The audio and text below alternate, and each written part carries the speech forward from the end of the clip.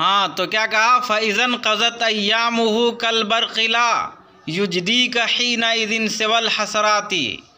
जब उसके अयाम बिजली की सुरअत की तरह ख़त्म हो जाएँगे तो उस वक्त तुम्हें सिवाय हसरत व अफसोस के कोई फ़ायदा पहुँचे नहीं पहुँचेगा।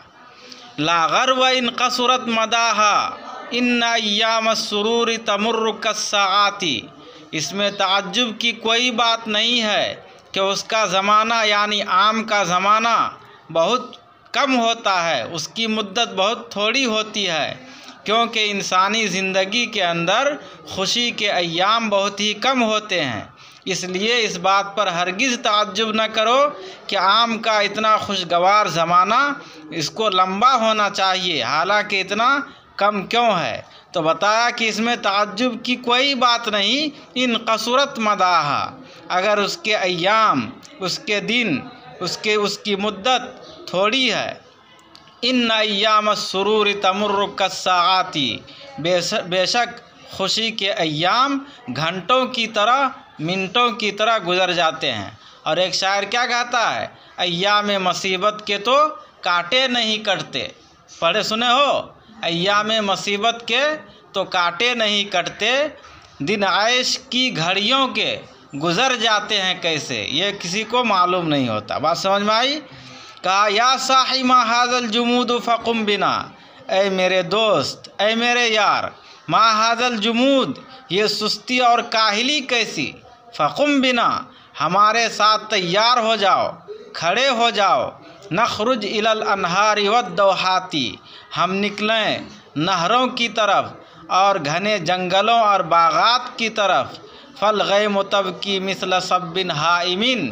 क्योंकि बादल जो है, एक आशिक ज़ार की तरह, हैरान परेशान आशिक की तरह रो रहा है। यानी खूब बारिश हो रही है। वलबर को यजहक नहव मुबतसिमाती।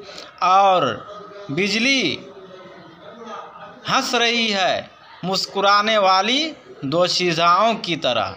वलवरक युसफ़ बितफ़ाक़ गसूनिहा और पत्ते तालियाँ बजा रहे हैं अपने, अपनी टहनियों से मिल कर के। व तैर जाओ बख्तिलाफ़ लगाती। और परिंदे गुनगुना रहे हैं मुख्तलिफ़ ज़ुबानों में। अवमा तरल मा मुबारक कैफ़ा। अम बतसायर अजहार वल हब्बाती। क्या तूने क्या तू नहीं देखता कि मुबारक पानी जो आसमान से नाजिल होता है, उसने किस तरह तमाम अकसाम के फूलों को और फलों को, दानों को क्या किया है? उगाया है, पैदा किया है। जब बारिश का मौसम आता है तो खुदरो पौधे और खुदरो झाड़ियाँ दुनिया को गुलो गुलजार बना देते हैं। तो उसी को कहा अवमा तरल मा अल मुबारक कैफ़ा? अम बतसायर अजहारी वल हब्बाती। क्या तो मुबारक पानी को, मुतबर्रक पानी को नहीं देखते हो? कैसे उसने तमाम किस्म के फूलों को और फलों को कह लो, या दानों को, गल्लों को उगाया है? और नीचे कहा फ़दात तनसुक सातम बखलातिन नक़ी फ़राइज़ हादिलअक़ाती थोड़ी देर के लिए बुज़ुर्गी और सूफियत बघारना क्या कर दो? छोड़ दो।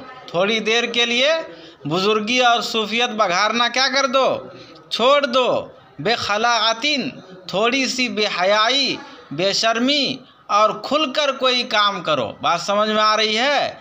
फ़दाइत तनसुका तो वदा दाओ से फेल अम्र दा है फ़दाइत तनसुका तो तुम जो है बुज़ुर्गी के लिबादे को, बुज़ुर्गी की चादर को फेंक दो, दूर कर दो, सातन चंद घड़ियों के लिए बेखला बेखलातिन बेशर्मी के लिए।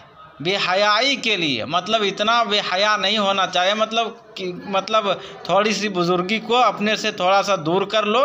सूफ़ी मत बनो अभी। सूफ़ी बनने का ज़माना जो है ये आम का ज़माना नहीं है।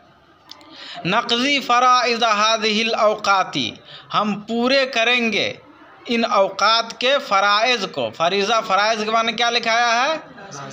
हाँ? तकाज़े, इसका तर्जमा क्या कर लो? तकाज़े। इन अया इन अवकात के तकाज़ों को हम क्या करेंगे? पूरे करेंगे। इन अयाम का तकाज़ा ये कहता है कि हम थोड़ी देर जो है बुज़ुर्गी की और शराफत के लिबादे को छोड़ दें। नल हो व न तरामत तिमार वजूह व कसूरहा बेबदा हरकती। हम खेलेंगे कूदेंगे जी बहलाएँगे और फलों को एक दूसरे पर फेंकेंगे। फेंकते हैं ना?